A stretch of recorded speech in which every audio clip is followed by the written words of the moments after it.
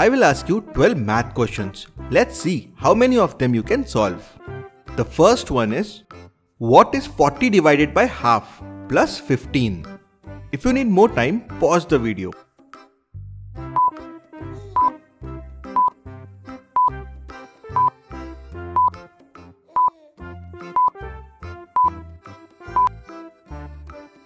Let's see the solution.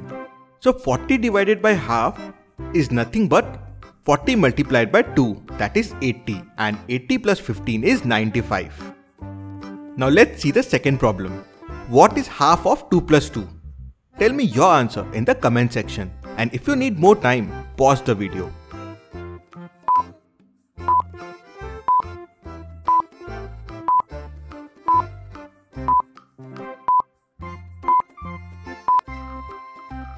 Now you can write half of 2 plus 2 as half into 2 plus 2. Now obviously multiplication first. So half of 2 will be 1 and 1 plus 2 will be 3. This was a tricky one. I hope you got it right. Now let's move to the third problem. Look at these numbers carefully and tell me what number will replace the question mark. Do comment your answer in the comment section.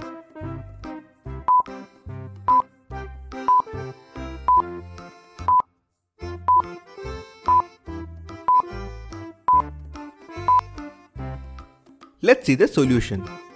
If you observe closely, each number is equal to the sum of the two numbers above it. So two numbers above question mark are 3 and 3. So 3 plus 3 is 6. So the answer will be 6. Now let's see the fourth problem. This problem is also called a birthday problem. So tell me, when Lisa was 6 years old, her sister Lucy was half her age. Now if Lisa is 40 years old how old is Lucy? Take your time and if you need more time, pause the video and do comment your answer.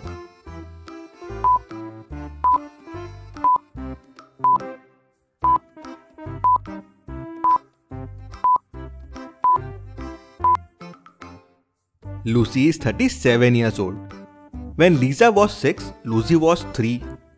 That means Lisa is 3 years older than Lucy. Now Lisa is 40 years old, so Lucy will be 37 years old. Now let's move to the fifth problem. Fifth problem is a matchstick problem. I have used some matchstick and made a equation 6 plus 4 equal to 4, but this equation is wrong. Now you have to move only one matchstick and make this equation correct. Pause the video if you need more time and tell me which matchstick should be moved.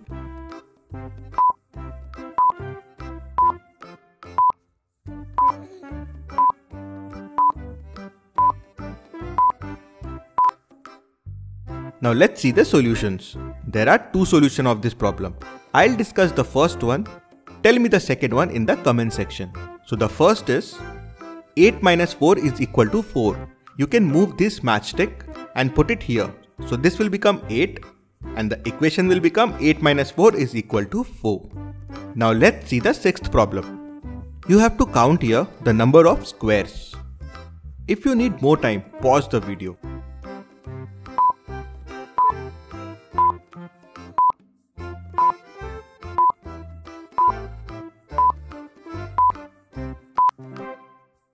There are total 14 squares here. If your answer is not 14, pause the video and think again.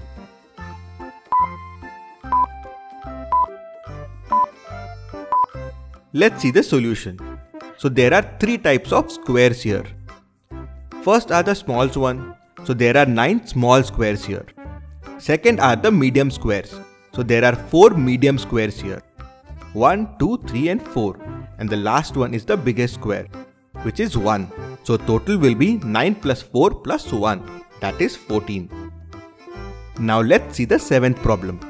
I have bought a hoodie and a shoe. The total cost of the hoodie and the shoe was $150. Now the hoodie cost me $100 more than the shoe. So tell me how much does each item cost me? This is a tricky problem. So if you need time, pause the video.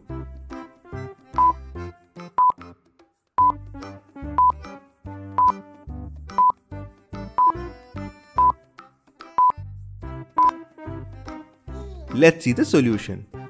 The hoodie cost me $125 and the shoe cost me $25.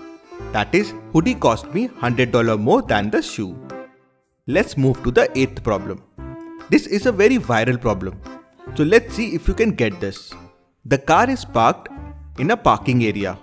So you have to tell me what is the number of the parking spot occupied by the car. Tell your answer in the comment section.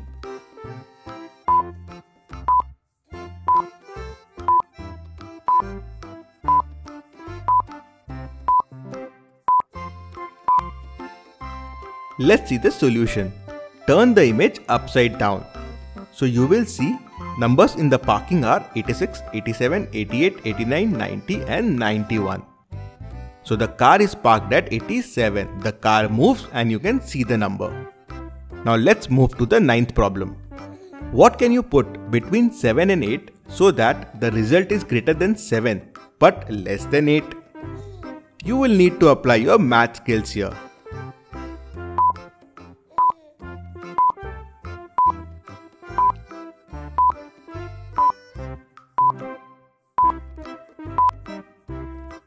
Let's see the solution. A decimal point. So the number will become 7.8 which is greater than 7 and less than 8. Let's see the 10th problem. What number would you get if you multiply all the numbers of a keypad?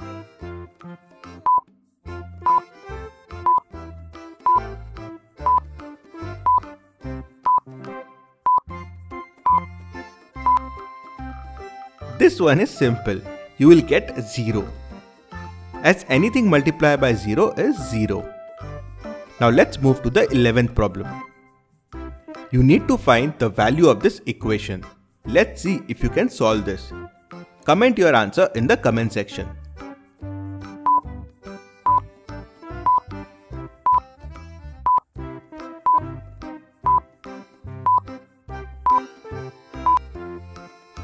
Let's see the solution you have to apply BODMAS here. So first multiplication. So 3 into 3 will be 9. Then you have to do the additions. So 3 plus 9 will be 12. 12 minus 3 will be 9 and 9 plus 3 will be 12. So the final answer will be 12. Now let's see the 11th problem. Observe this equation carefully and find the value of question mark. If you need more time, pause the video.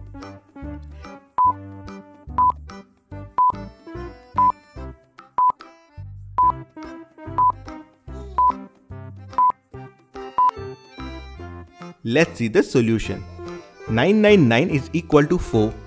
Observe that there are 4 circles in 9 and that is the value 4. In 8 there are 2 circles, one at the top and one at the bottom and there are 4 8s so that's why 888 is equal to 8. Now in the final equation I have 1 9 1 9. 1 has no circles, 9 has 1 circle and there are 2 9s so the value will be 2. Now let's move to the final problem. Let's see if you can solve this one. How can you add 8 A's to get the number 1000 using only addition? This is a very tricky problem. So if you need more time, pause the video.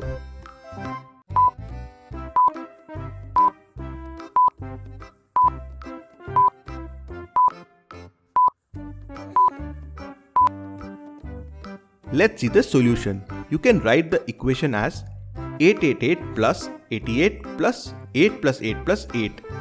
That will give you 1000. I hope you liked all the math riddles. Do comment how many of them you solved. And if you want to solve more math riddles, download our game Math Tour. Thank you.